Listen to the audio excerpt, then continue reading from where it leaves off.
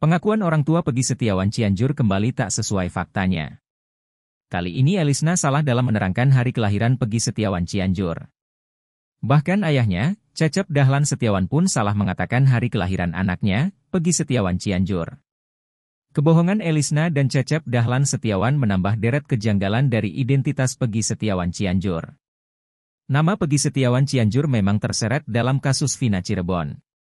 Pegi Cianjur dicurigai sebagai DPO kasus Vina yang selama ini dicari. Narasi kecurigaannya Pegi Setiawan Cianjur tak ditangkap atas kasus Vina Cirebon karena merupakan anak mantan Bupati Cirebon, Sunjaya Purwadi Sastra. Katanya, Sunjaya menitipkan Pegi Setiawan pada sopirnya di Cianjur, Cecep Dahlan Setiawan. Alih-alih mematahkan tuduhan itu, Pegi Setiawan Cianjur dan Cecep justru selalu membuat blunder. Kali ini tentang hari lahir Pegi Setiawan Cianjur. Elisna mengatakan pergi Cianjur lagi pada hari Minggu. Sedangkan Cecep Dahlan Setiawan mengatakan pergi Setiawan Cianjur lahir hari Rabu. Elisna menerangkan pergi Setiawan Cianjur lahir tanggal 19 September 1995 pukul 18 waktu Indonesia Barat. Ingatnya maghribnya, kata Cecep Dahlan Setiawan. Cecep bahkan mengaku bahwa dirinya lah yang menjemput dukun beranak atau paraji.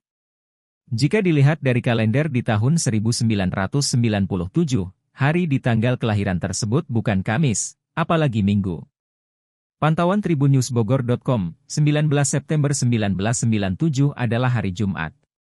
Padahal Elisna teramat yakin bahwa Pegi Setiawan Cianjur merupakan anak yang ia kandung sendiri pada usia 17 tahun.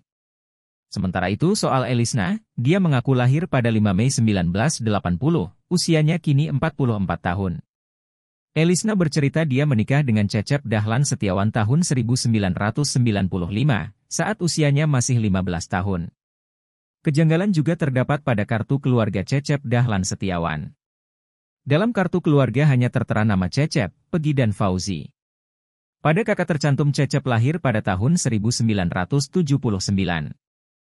Download Tribun X sekarang. Menghadirkan lokal menjadi Indonesia.